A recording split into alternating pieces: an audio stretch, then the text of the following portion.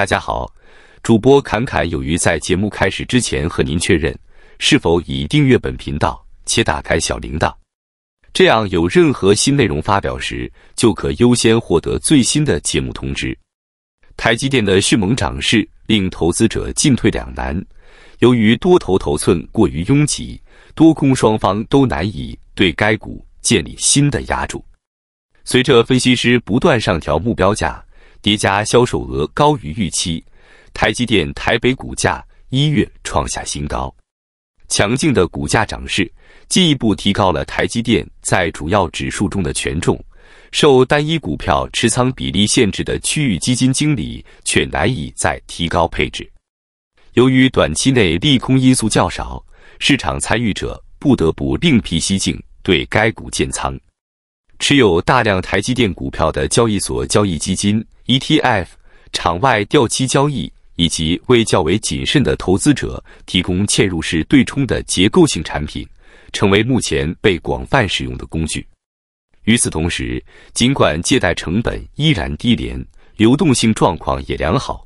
人工智慧领域的强劲势头却令空头望而却步。Pepperstone Group Ltd 的研究策略师。杰林物表示，投资者陷入了典型的结构性困境，看涨的信心无法转化为充分的仓位配置，而看跌的策略又受到基本面的制约。台积电是人工智慧热潮的最大受益者之一，自2022年底 ChatGPT 发表以来，其股价已上涨逾两倍。该公司是辉达、苹果和 Google 等科技巨头的主要晶片制造商。一月中旬发表的业绩可能成为下一个催化剂。分析师指出，台积电将增加年度资本支出。据 Copley Fund Research 研究，台积电在台北上市的股票被百分之九十二点七的主动型新兴市场基金持有，比例之高创下纪录，平均持仓权重最高达到百分之九点五。该机构近期对三百五十五只共计管理五千五百亿美元资产的基金进行了调研，但这仍然不够。台积电目前在 MSCI 新兴市场指数和 MSCI 亚太除日本外指数等区域基准中所占权重几乎达到百分之十二，成为许多主动型新兴市场基金中最为低配的标的。而这些基金许多设有百分之十的单一股票持仓上限。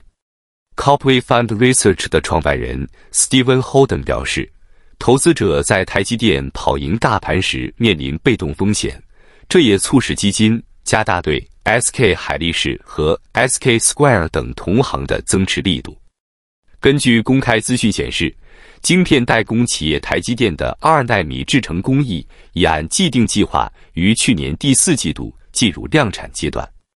这是该公司首次在量产制程中引入纳米片电晶体技术。相较前代工艺，电晶体密度显著提升，能效表现更优，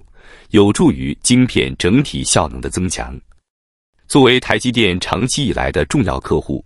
苹果公司预计。将率先采用该制程生产新一代行动处理器。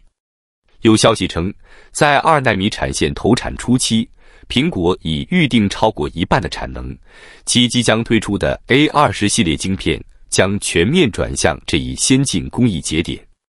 然而，随着效能提升而来的，还有制造成本的明显上升。由于二纳米工艺在研发和生产环节面临更高的技术门槛与更严苛的工艺要求，导致单位成本大幅增加。据相关分析，采用该工艺的 A 二十晶片单颗成本预计将达到二百八十美元，较上一代 A 十九晶片增长近百分之八十。晶片成本的显著上涨，可能对后续终端产品带来连锁影响。若整机其他组件未能实现相应的成本优化，搭载 A 二十晶片的新一代智慧型手机整体制造成本将随之抬升。在此背景下，若厂商选择维持售价不变，将面临利润空间被压缩的风险；若为平衡成本而上调终端价格，则可能抑制消费者购买意愿，进而影响产品销量。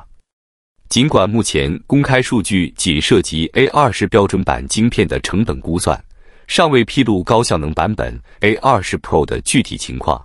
但基于后者在规格和效能上的进一步提升，其制造成本势必更高。因此，计划搭载 A 二十 Pro 晶片的高阶机型也将在定价策略上承受更大压力。根据 WCF Tech 报道，GAMD 在 CES 2026披露了采用台积电二纳米制成的 ePYC Venice 处理器部分资讯之后，近日 X 平台用户 HMS 幺幺九三曝光了更多官方尚未公开的 Venice 构架细节。此前披露的资讯显示，Venice CPU 将基于二纳米制成，拥有八个大型三六核心控制单元 CCD 和两个 I/O 带。以及包含管理控制器的微型晶片，AMD 承诺，ePYC Venice CPU 的效能和效率将提升百分之七十以上，线程密度也将提高百分之三十以上，记忆体频宽也将高达一点六 T 每秒。该晶片还将推出标准的一百九十二和 Zen 六版本，包含十六个 CCD，每个 CCD 包含十二个 Zen 六核心。以及七百六十八 M 的 L 三块取记忆体，而最新的爆料称，Venice 还有基于三六 C 核心的版本，最高也是二百五十六核心。在设计上，AMD 通过更高密度的运算晶粒 CCD 与全新的双 I/O 带构架，试图同时应对高核心数与 AI 伺服器对 I/O 频宽快速提升的需求，其中。每颗 Zen 六 C CCD 可容纳三十二颗核心，较前一代 Zen 五 C 的十六核心设计直接翻倍。N 二制程下面积为一百五十五平方毫米，AMD 能在仅使用八颗 CCD 的情况下，达成更高的二百五十六核心配置。快取记忆体配置同样是升级重点，每颗 Zen 六 C CCD 内置一百二十八 mL 三快取记忆体。使整颗处理器的 L 三块取记忆体总容量高达一 G，这在多核心伺服器负载中，这有助于降低对主记忆体的依赖与食盐。在制程工艺方面，负责运算的 CCD 采用台积电二纳米 N2P 制程，以追求极致效能；而负责 I/O 的 I/O 带则维持六纳米制程。值得注意的是。ePYC Venice 改采双 I/O 带构架，两颗 I/O 带总面积达七百五十平方毫米，远超前代的单一 I/O 带设计。这意味着记忆体 PCIe 与 CXL 扩充能力将大幅提升，更有利于支援 AI 伺服器中 GPU 与高速网络设备的密集部署。而所有这一切都仰赖台积电二纳米制程工艺的巨大贡献。那么本期内容到这里就结束了，感谢你的观看，期盼能与你产生共鸣。侃侃而谈，阔论有余。最后，请你点赞、订阅，这对侃侃有余是极大的鼓励。谢谢。